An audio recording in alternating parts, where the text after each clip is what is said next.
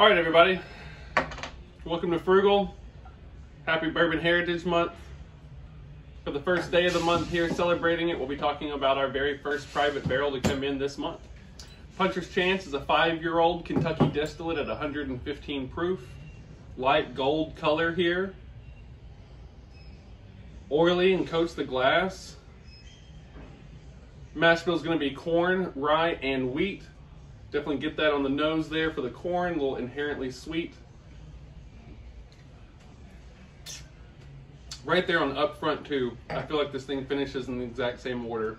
Corn sweetness in the beginning, rye mid-palate punch, and then a fantastically soft wheat finish. Solid product, very happy to have it in Nashville. Come by, pick one up, try a sample.